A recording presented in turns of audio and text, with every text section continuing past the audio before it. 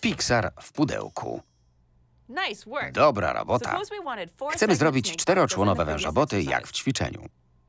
Ile ich jest? Mamy cztery możliwości dla pierwszego członu, trzy dla drugiego, dwa dla trzeciego i jedną dla czwartego.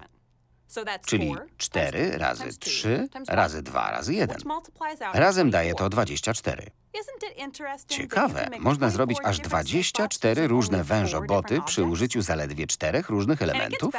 Mało tego, powiedzmy, że 10 chcemy dziesięcioczłonowego wężobota. could make 10 Wtedy można zrobić 9 10 times razy 8 times 9 7 razy times 6 8 times razy 5 7 times razy 4 times 6 3 razy times 5 2 razy times 4 one razy different 3 razy 2 razy combination, 1 which amounts to a różnych kombinacji. 3,628,828 Łącznie daje to aż 3 miliony different 628 segment tysięcy bots. 800 And you only różnych dziesięcioczłonowych 10 different wężobotów przy użyciu zaledwie 10 różnych obiektów. Takie obliczenia ciągle pojawiają się w kombinatoryce, więc matematycy oczywiście wymyślili nazwę i skrót.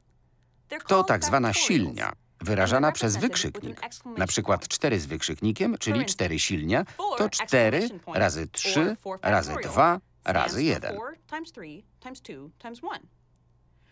4 silnia to zatem 24. 5 silnia równa się 120, a 10 silnia to ponad 3 miliony.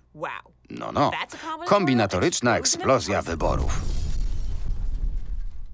Przerwijmy. Oswójcie się z tym pojęciem w ćwiczeniu.